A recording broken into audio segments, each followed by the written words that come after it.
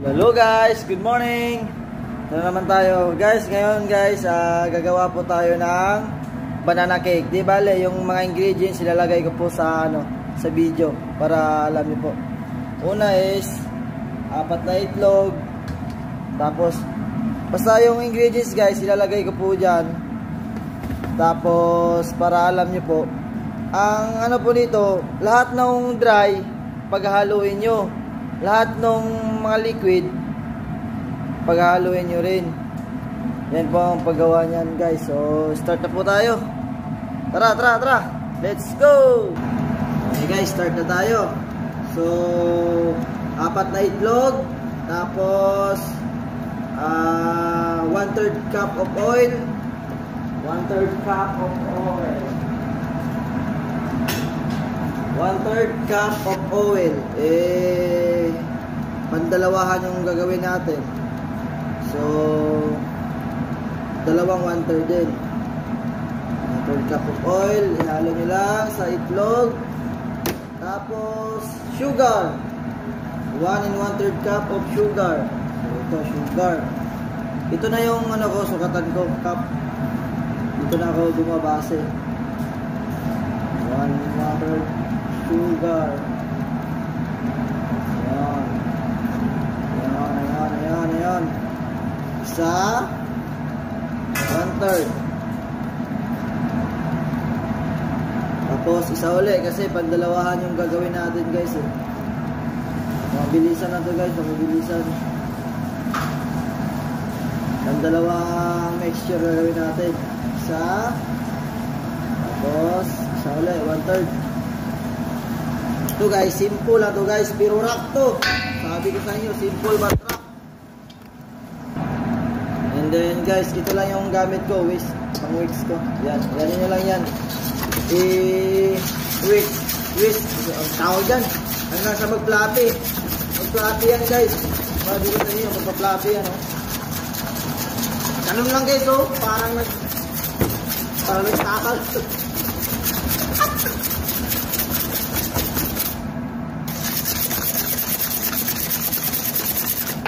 Siyempre, habang gumagawa ka, dapat malinis guys. Malinis dapat. Yan, makakalat. Ang ulit. Guys. Patihin nyo lang ang patihin ko guys. Pati lang, pati lang pati.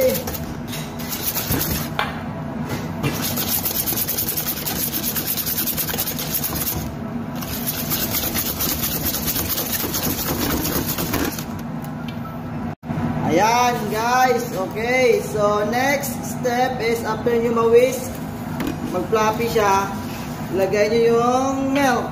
So, nakalagay dito is milk, milk, milk, milk.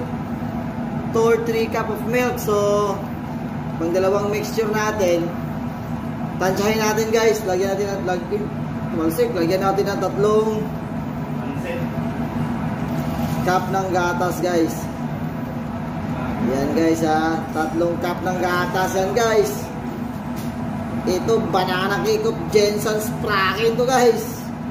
Sabi ko sa inyo, pag matikman nyo to, makakalimutan yung pangalan nyo. Yung pangalan ko. Ah, Piolo. yan.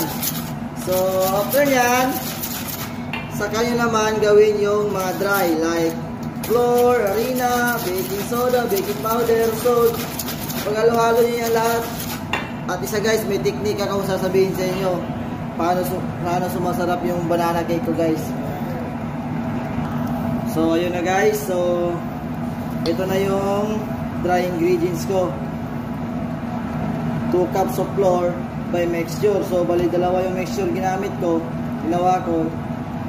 Lagyan mo siya ng apat na cup ng harina. Tapos, baking powder. Baking powder.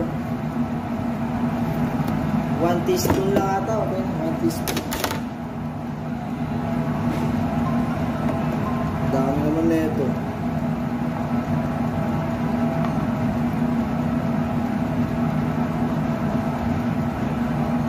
Pwede dalawang teaspoon. Tapos,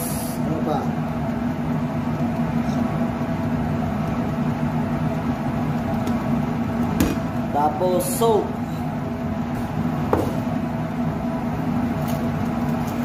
Salt is 1 teaspoon again. So 1 teaspoon. 1 teaspoon of salt. 1 teaspoon. Dalawa. Okay, dalawa natin. Alright. Yan lang guys. Paghaluin nyo lang itong mixture nyo. Itong dry. Tapos, saka nyo siya ihalo dito sa ano. Saka nyo siya ihalo dito sa mixture yung liquid kanina. So, yun na nga guys. Haluin na natin para ma-mix naman yung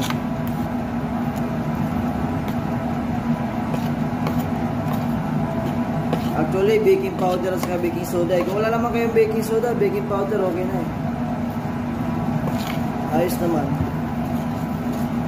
Saka mo siya ihahalo ito sa texture nyo. Ganda rin po Gatas. Ganda yan. Yan. Tapos sa kanya ihalo yung harina.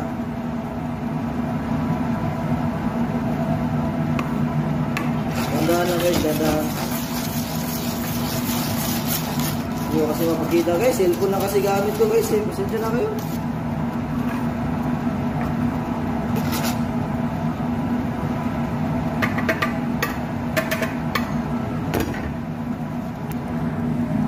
Sorry. Ayan guys oh. Haluhaluin nyo lang siya. Maganda kasi dapat na ganyan oh. Eh, paano? Eh, ano lang gamit natin. Oops. Ayan, tumalsig guys. Tumalsig ka na ko guys. Yun? Yun? Ano yun? Ganyan lang guys, haluin nyo lang siya hanggang sa mag-floppy. Magpa-floppy yan eh. Tapos, sa saka nyo ilagay yung main ingredients nyo na ano, mashed, mashed banana.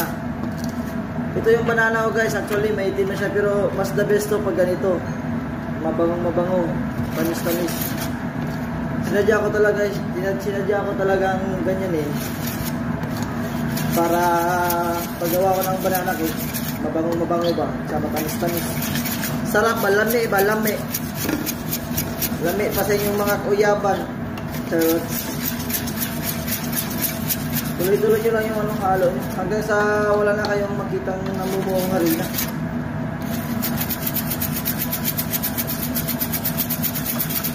Pwede rin naman kayong gumamit ng electric ba yun? Pero sa akin kasi hindi ako sanay nito. Komportable akong gumamit nito.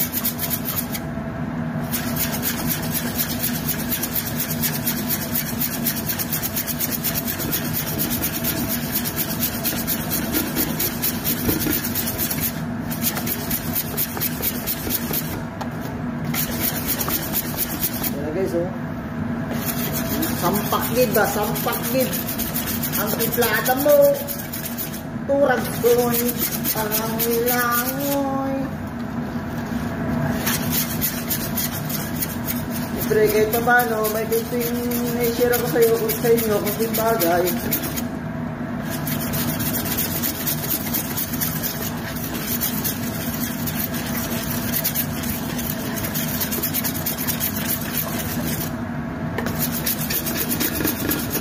Para lang kayo gumagawa ng sponge cake. Kaya nga pala guys, ang sikreto ko dito guys, nilalagyan ko siya ng vinegar. Mga 1 teaspoon of vinegar lang guys. Yan yung sikreto ko dito. Nilalagyan ko siya ng vinegar. Ito ang ano din guys, sikreto. Vinegar. Patakan nyo lang, tansyahin nyo lang. 1 teaspoon. Hmm, tansyahan na yan. Tansyahan lang guys. O, diba? Yan ang sikreto dyan guys. Vinegar. Suka ba? Suka. So ayan na. Okay na guys. So, medyo wala na yung mga namumumo harina. Diyan, dyan yung nailagay yung mash banana nyo. Mash banana. Ito guys. So ito na yung mash banana ko guys. Mamash nyo lang siya. Huwag pero wag lang masyado. Maganda din yung may mga ano siya ba. May mga kunting bubo para pagkagat. Mmm, yummy. Pati lang. Tapos ito na yung ihalo nyo dun sa mixture. Mm. Banana cake na yan guys. Pwede rin itong gawing pangtinda. Kung may mga saging kayo na nalalata na, huwag nyo itapon yun guys. Magagamit nyo yun. Ang banana cake yun guys eh. Yun o. Hmm. Ko lang. Alam din kayong nag... Alam nyo na yun. Diba?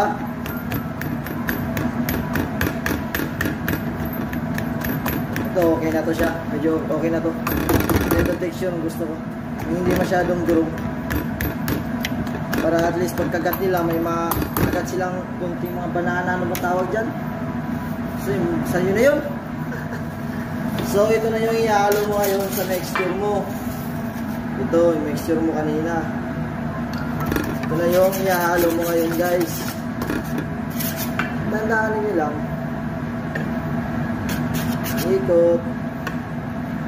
Ayan. Diba guys? Siyempre dapat malinis yung kapaligiran para maganda magtrabaho. Diba? Diba? Yan na guys oh. Mamaya guys, papakita ko sa inyo yung finished product nito. Guys, supportahan nyo pala yung channel ko guys. Nagkakampisa ko pa lang eh. Yung gamit yung ang pag-vlog, cellphone lang eh. Pero di bali, makakabili rin tayo ng camera.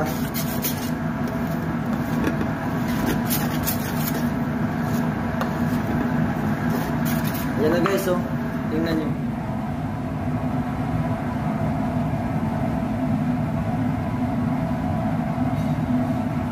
Ayan na siya guys oh. Yan, yan yung texture natin. Di ba guys? Simple lang, simple lang naman to eh. Pero rock, simple but rock. So, ayun guys, dito ko sa ilalagay. Kung wala ngayong yung parang paper wax ba yun, pwede naman kayo gumamit ng mantika eh. Pahiran nyo lang bawat side para hindi siya dumikit. Pwede nyo siyang lagyan ng mantika guys ha. Huwag kayong mahiya. Pwede yan guys. Then spread nyo lang siya both side. Ito. Para hindi siya dumikit. Wala na kasi mga wax paper guys eh. Maganda pa rin yung may wax paper talaga. Pa paano eh, hindi siya didikit pa. Pero okay na to. Simple lang tayo. Simple lang natin guys. Ayan na, pasensya na kayo sa lalagyan ko. Medyo tagal-tagal na rin itong tibitim na. Ano? So ayan na guys. So yung mixture natin. Eh, ano na natin? Lagay na natin guys ha.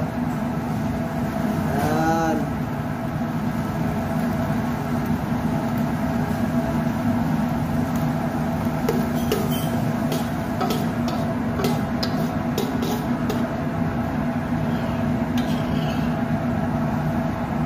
guys.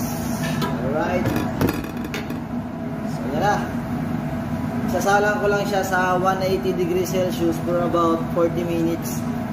Or it depends guys, depende. 40 minutes to 1 hour. Malalaman nyo naman yan eh. Tutusugin nyo ng ano. Kung may stick kayo, tusugin nyo. Pag hindi na dumikit sa stick, luto na yan. Please make sure bago nyo i-serve, dapat nakares siya. Nakares. Kahit man lang mga 10 minutes nakares. Okay. So guys, isasalang ko na ha. So ito yung temperature. Naka-preheat na yan guys. 180 180 degrees. 180 degrees Celsius. Naka-preheat na yan guys. So isasalang ko na guys ha. Mamaya ipapakita ko sa inyo yung finished product. But for now, see you later. Please don't forget to subscribe like and share. Thank you. Bye bye. Okay, okay, alright. Hello guys. This is the finished product of our banana cake. Uy, Jinsan Spraken. Jinsan Spraken.